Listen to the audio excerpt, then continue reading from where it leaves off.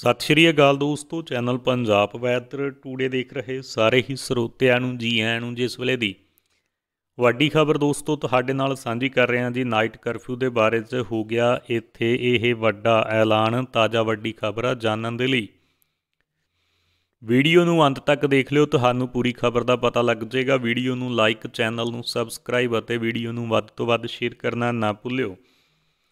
ਦੋਸਤੋ, ਵੱਖ-ਵੱਖ ਜ਼ਿਲ੍ਹੇ ਦੇ ਅਧਿਕਾਰੀਆਂ ਵੱਲੋਂ ਸਥਿਤੀਆਂ ਦੇ ਅਨੁਸਾਰ ਪਾਬੰਦੀਆਂ ਨੂੰ ਹਟਾਇਆ ਜਾ ਰਿਹਾ ਹੁਣ ਰਾਤ ਤੇ ਕਰਫਿਊ ਬਾਰੇ।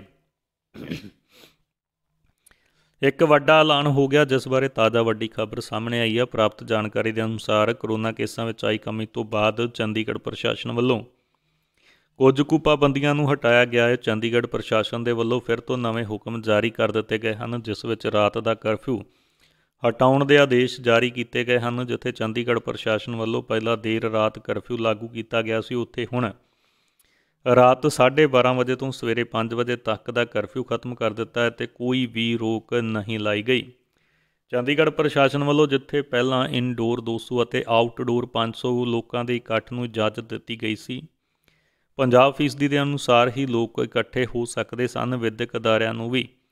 ਪੂਰੀ ਤਰ੍ਹਾਂ 14 ਫਰਵਰੀ ਤੋਂ ਖੋਲੇ ਜਾਣ ਦੀ ਇਜਾਜ਼ਤ ਦਿੱਤੀ ਗਈ ਸੀ। ਇਸੇ ਤਰ੍ਹਾਂ ਹੀ gym, hall, cinema, restaurant, hotel, bar, ਦੁਕਾਨਾਂ, ਬਾਜ਼ਾਰਾਂ ਦੇ ਵਿੱਚ ਹੁਕਮ ਲਾਗੂ ਸਨ। ਉਹਨਾਂ ਪਾਬੰਦੀਆਂ ਨੂੰ ਹਟਾ ਦਿੱਤਾ ਗਿਆ ਹੈ। ਚੰਡੀਗੜ੍ਹ ਪ੍ਰਸ਼ਾਸਨ ਦੇ ਵੱਲੋਂ ਰੌਕ ਗਾਰਡਨ ਅਤੇ ਬਰਡ ਪਾਰਕ ਨੂੰ ਵੀ 12 ਫਰਵਰੀ ਤੋਂ ਖੋਲ੍ਹਿਆ। ਜਾ ਰਿਹਾ ਹੈ। ਸੋ ਚੰਡੀਗੜ੍ਹ ਦੇ ਵਿੱਚ ਰਹਿੰਦੇ ਲੋਕਾਂ ਦੇ ਵਿੱਚ ਤੇ ਚੰਡੀਗੜ੍ਹ ਜਾਣ ਵਾਲੇ ਮੁੰਡਿਆਂ ਦੇ ਵਿੱਚ ਖੁਸ਼ੀ ਦਾ ਮਾਹੌਲ ਪਾਇਆ ਜਾ ਰਿਹਾ ਹੈ। ਦੋਸਤੋ, ਵੀਡੀਓ ਨੂੰ ਵੱਧ ਤੋਂ ਵੱਧ ਸ਼ੇਅਰ ਜ਼ਰੂਰ ਕਰੋ ਤਾਂ ਜੋ ਜ਼ਿਆਦਾ ਤੋਂ ਜ਼ਿਆਦਾ ਲੋਕਾਂ ਨੂੰ ਪਤਾ ਲੱਗ ਸਕੇ ਪ੍ਰਸ਼ਾਸਨ ਦੇ ਹੁਕਮਾਂ ਦਾ। ਤਾਂ